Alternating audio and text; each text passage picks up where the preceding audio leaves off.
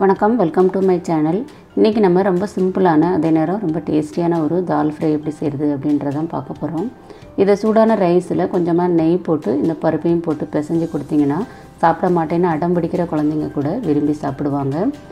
வாங்க எப்படி செய்கிறதுன்றத பார்க்கலாம்.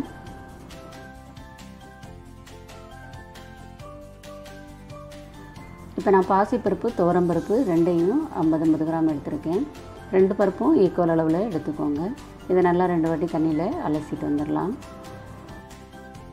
பருப்பை நல்லா கழுவிட்டு கொஞ்சமாக தண்ணி ஊற்றி ஒரு பத்துலேருந்து பதினஞ்சு நிமிஷம் ஊற வச்சுக்கலாம். ஊற வச்சு வேக வைக்கும்போது சீக்கிரமாக வெந்துடும் இப்போ பதினஞ்சு நிமிஷத்துக்கு அப்புறம் பார்த்தீங்கன்னா பருப்பு நல்லா ரெண்டு பருப்புமே நல்லா ஊறிடுச்சு. இப்போ அது கூட ஒரு மீடியம் சைஸ் ஆனியன் ஒன்று கட் பண்ணி சேர்த்துக்கோங்க.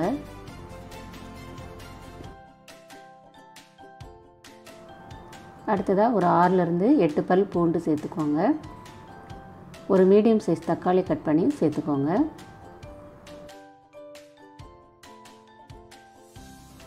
அடுத்ததாக ஒரு மூணு பச்சை மிளகாயை கீரி சேர்த்துருக்கேன். நம்ம காரத்துக்கு பச்சை மிளகாய் மட்டும்தான் சேர்க்குறோம். அதனால் மூணு பச்சை மிளகாய் சேர்த்துருக்கேன். ஒரு கால் டீஸ்பூன் மஞ்சள் தூள் சேர்த்துக்கோங்க. பருப்புக்கு தேவையான அளவு உப்பு சேர்த்துக்கோங்க. ஏற்கனவே தண்ணி ஊற்றிருக்கோம் இப்போ கொஞ்சம் தண்ணி சேர்த்துடலாம். இப்போ குக்கரை மூடி வச்சுட்டு ஒரு ரெண்டு விசில் வச்சு நம்ம இதை வேக வச்சுக்கலாம்.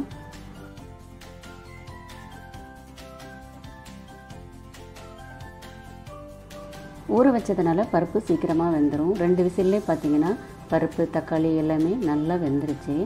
சூடாக இருக்கும் போதே கரண்டி வச்சு நல்லா இதை மிக்ஸ் பண்ணி விட்டுக்கோங்க.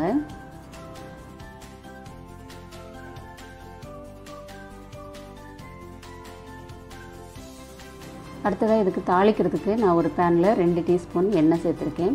எண்ணெய் இல்லை நெய்யில் கூட நீங்கள் இதுக்கு தாளிச்சிக்கலாம். எண்ணெய் சூடானதும் அதில் கால் டீஸ்பூன் கடுகு சேர்த்துருக்கேன். கடுகு நல்லா பொரிஞ்சதும் அது கூட ஒரு டீஸ்பூன் ஜீரகம் சேர்த்துக்கோங்க. கொஞ்சமாக பெருங்காய பவுடர் சேர்த்துக்கோங்க. கொஞ்சமாக கருவேப்பிலை. ஒரு காஞ்ச மிளகாய் கிள்ளி சேர்த்துக்கோங்க. அடுத்ததாக ரெண்டு பல் பூண்டு மட்டும் நச்சு சேர்த்துக்கோங்க. இந்த மாதிரி பருப்பு குழம்பு இல்லை கீரை குழம்புலாம் பண்ணும்போது தாளிக்கிறப்ப இந்த மாதிரி பூண்டு நச்சு சேர்த்துக்கிட்டிங்கன்னா அதோடய ஃப்ளேவர் வந்து ரொம்ப நல்லாயிருக்கும்.